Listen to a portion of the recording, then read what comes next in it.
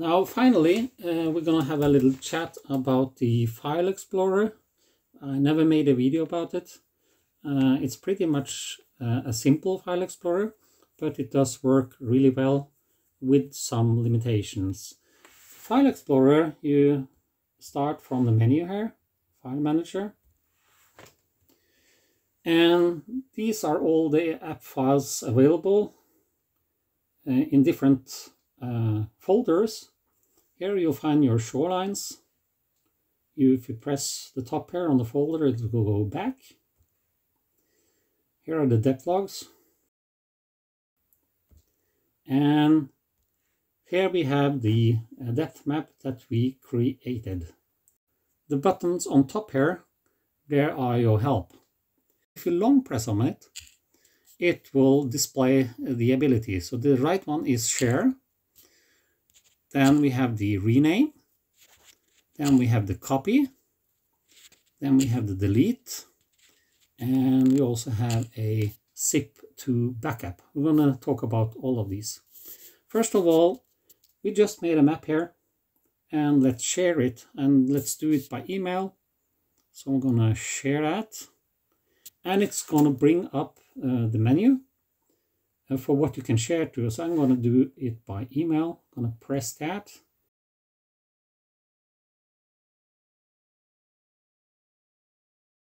See, that's my name and I have uh, my map. And you press send up here and you're done. Rename is pretty much straightforward. Just press the TT and you can select a new name for it. And the uh, file will be renamed.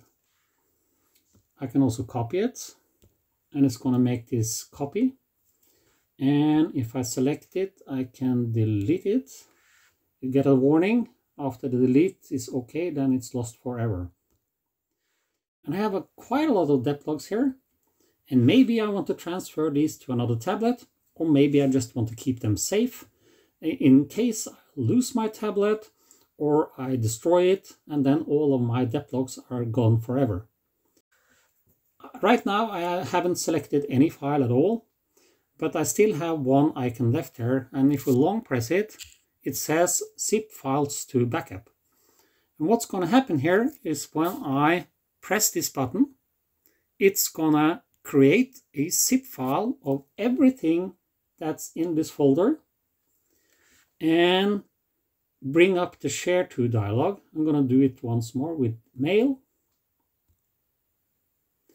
I'm gonna send it to myself. And this is backup. Depth log zips. In addition to that, the backups you have created, they are now available in the backup folder. Let me go into shorelines. There are not that many files here. I'm going to delete all of them.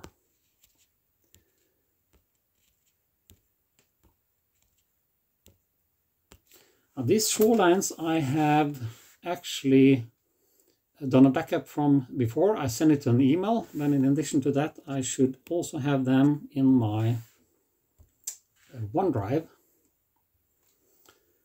So here they are already selected. I have a backup here. And when I'm going to restore it, I need to use the share button. Uh, OneDrive is uh, a little peculiar.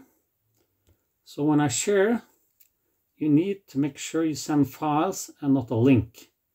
I'm going to do send files and I'm going to share it with the Carp Pilot Pro. So I click that and that will bring up the file manager of the back of the Carp Pilot Pro and I'm now restoring shorelines. I'm going to select shorelines here and then we have this plus button which uh, makes it possible for you to add the files in this folder. I'm just going to push this once. And there are the shorelines. If I now go back, then I'm back here and I'm done. So let me bring up the Carp Pilot Pro. And show lines. Now here's the zip file. Now if you click this zip file, if you click any zip file, you get another icon here.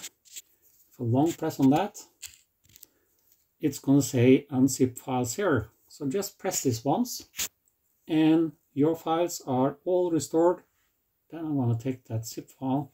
I'm going to delete it because I don't need it anymore. And then I'm good to go. So my files are now restored on the same tablet or perhaps you have many tablets. This is a way to transfer all your files to that other tablet. So we're done here let's put this map back. We renamed it to test2 in the file manager.